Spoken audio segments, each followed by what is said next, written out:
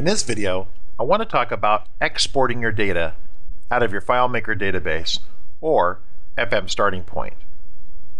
Now once again, one of my tips for making the export process as simple as possible is navigating to a layout where the data's at that you actually want to export. So I'm going to go ahead and navigate to the contact data entry screen here because this is where I want to actually export the data. Now I have 350,000 records here and that's a lot of data to export. So I'm going to find everyone in Texas and I'm going to export those people. And I have 18,000 records to export. So this should go much faster. Now let's take a look at the options for exporting the data. The file format that we choose for exporting the data really depends upon the target audience and their use of the data. And that will dictate our decision making process upon how we export the data out of FileMaker. Now, if you think about this, some of it's pretty obvious and straightforward. For example, if people are simply going to read the information and maybe present it in a very nice way, well, some people would actually choose to print the information. Of course, these days, a lot of people will output the data as a PDF. So you could actually go save as PDF right here. And this gives you several options. We can save the records being browsed in the found set, the current record, or a blank record. So this is basically the same sort of setup that you would have in a print dialog. This is basically where you're printing the layout. But instead of printing it to a printer, we're simply printing it to a PDF. Pretty straightforward.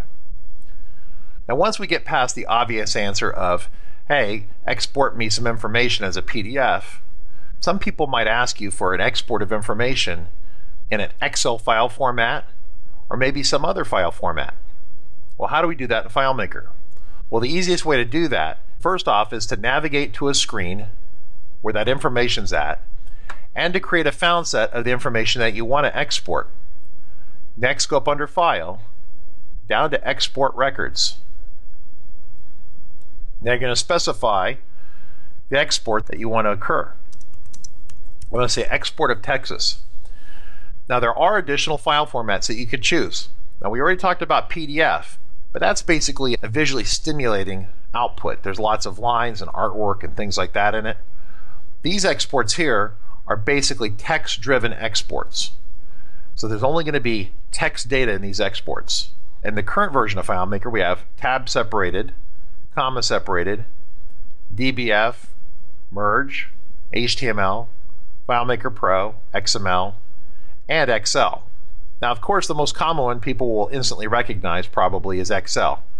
And this exports as the current XLSX Excel file format. A lot of people might choose to output as this file format right here.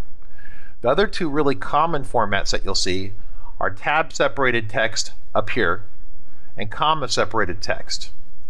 These three, these top two here and this bottom one here, are by far the most common file formats when you're trying to take data out of FileMaker and import into another data system. I'm going to go ahead and select Excel for this. I'm going to say automatically open right here.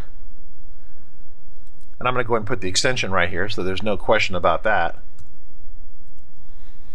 And I'm going to say save. Now, because we've selected an Excel export, we get this extra screen of information right here. We can actually choose to include the field names as column headers, and also we can actually specify worksheet, title, subject author, things like that. I'm going to go ahead and skip that and click continue right here. Now we actually have two options right here.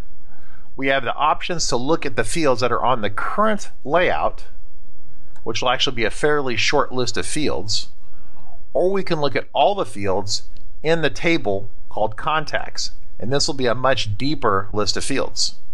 So just keep that in mind. Now I can specify the fields I want to see. Maybe I just want to see name first, name last, maybe phone one, and that's all I want to see. I can specify export. That pops up. After a short moment, Excel pops open. and you can see all the sample data right here that was exported. Now it automatically opened Excel, but that Excel file is right here.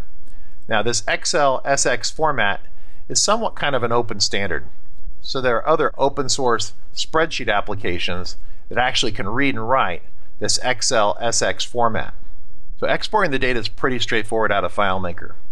Once again, it exported the found set. So it only exported 18,624 records. It didn't export all 350,000 records. Also keep in mind you can also script this command. So you could have pressed a button here and it could have created this export for you automatically. And that's a really cool capability as well. So keep that in mind. Now, a couple gotchas in terms of exporting files. First off, this is once again strictly a text export. There's only text in here, which means that we could not specify an image or container field to be exported here. There was no ability to actually export photos in this document. Now, if we wanted to export photos out of this database to go with this text, we would have had to export the file format as FileMaker Pro. This would have created a brand new FileMaker Pro file, kind of a completely stripped, blank, white FileMaker file. In fact, I can go ahead and do that for you if you'd like to see it. Notice that FileMaker remembers the last export order. I hit export. And now I get a completely blank database, but it has one table in it and one layout in it with these three fields in it. And I could have had a container field in here with images in here. So that's the only way to actually export images out of FileMaker.